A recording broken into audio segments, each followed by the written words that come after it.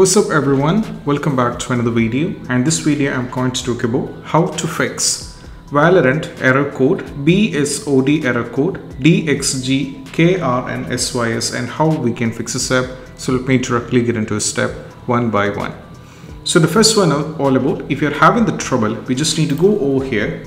Now from here we have to search here for the Windows security. So just search here for the Windows security like this and you have to click on the Windows security now from here what we need to do is just go over here in the device security. And right now there is an option called core isolation. You have to click on the core isolation.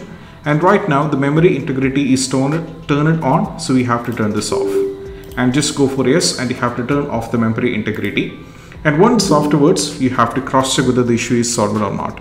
Still if you're having the trouble we need to uninstall the games like or the apps like or applications like Omen Gaming Launcher, Riva Tuner NVIDIA control panel. If all these are installed on a system, just uninstall these systems and after uninstalling, which is a mandatory, you have to do a restart. Once the restart is done, you have to check.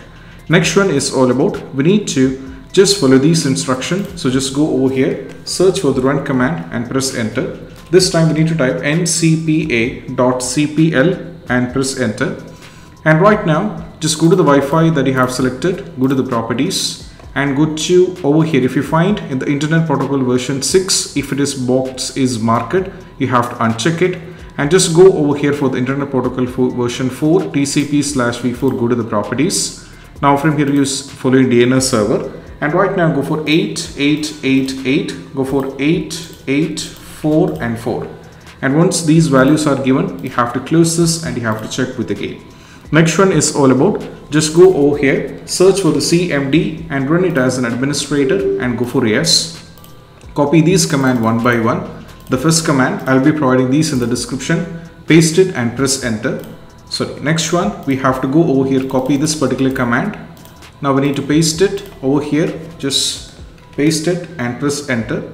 Once done, go for the next one that is ipconfig release. Just go over here, paste it and press enter. Next one IP config renew, copy and we have to paste it over here. You have to paste it as well. Once after done, just go to the flush DNS, just copy this particular command. Now we have to paste this particular command and press enter.